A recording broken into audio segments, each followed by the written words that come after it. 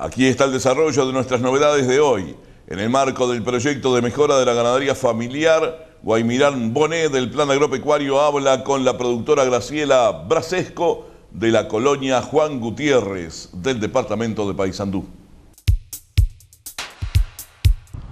En el marco del proyecto de mejora en la sostenibilidad de la ganadería familiar de Uruguay, estuvimos conversando con Mariela Brasesco, quien es productora de la colonia Juan Gutiérrez en el departamento de Paysandú y mi predio es de 398 hectáreas, un índice de coña 120 y, este, y tengo explotación ganadera, ovina y vacuno. Este, tanto de vacuno como ovino es la cría que tengo. Y la, la recría de, la, de las hembras, de tanto lo ovino como vacuno tengo la recría. Bueno, tengo campo natural, y hoy, el año pasado empezamos, planté soja para hacer pradera y hoy estoy manejando 35 hectáreas de pradera que las subdivido.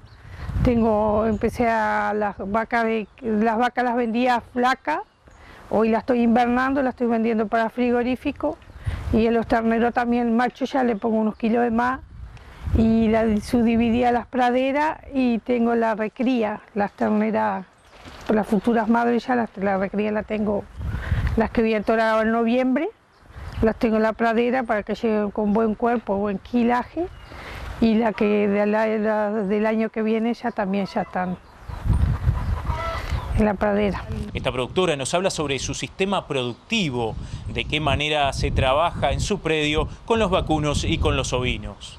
Rodrigo cría la ventoro, la vaquillona con 280 kilos que venía a ser a los dos años ya están con ese peso y las manejo con campo natural, ya después ya pasan a campo natural y ahí este, la que necesita llegar que de par y tal con, con bajo peso ya las paso a la pradera, pero si no las manejo todo con campo natural y el resto del rodeo lo manejo en campo natural.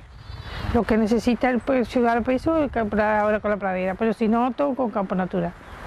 Me manejo con campo natural. Y las ovejas las hago para ir a campo natural también. Todo con campo natural.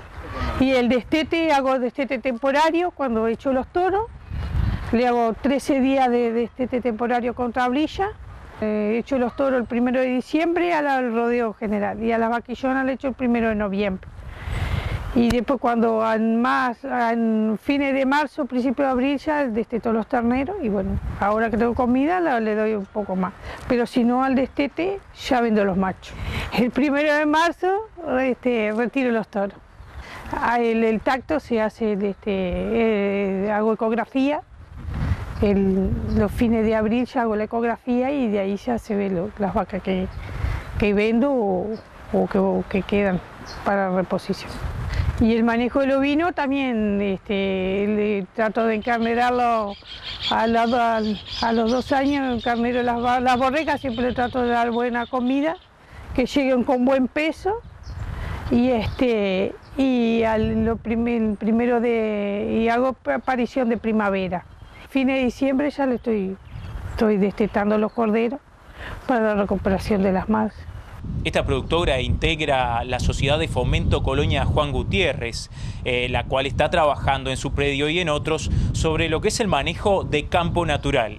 Se compró una desmalezadora alfombra y, este, y se va a hacer unos ensayos y en el futuro pienso que si esos ensayos funcionan empezar a, pasar, no todo, pero que sea de pedazos chicos, empezar a ir a, eh, por el más... Sí, tengo mucho caraguatá, me, el problema que tengo grande es Caraguatá. Ese proyecto que tenemos con que Marcelo está más tecnología, que lo propuso la colonia, se está trabajando en eso. Y después tenemos la trilla de campo natural, que ya se cerró un, potrero para, para trillarlo y enfardar y, y bueno, se está haciendo una, una trilladora para campo natural y, y para enfardar eso. Esta productora nos habla de los objetivos productivos que ella se fijó. Los planes que teníamos era bajar la carga y si hoy estoy 0,80 porque siempre manejé 1,202, 1,20 y, este, y hoy estoy en 0,80. Y lo que quiero llegar a mejorar los, los porcentajes de parición, llegar a un 70 y una señalada a un 75. Está, llegarlo a estable, a que quede estable, porque hay años que lo he tenido y hay años que me ha bajado.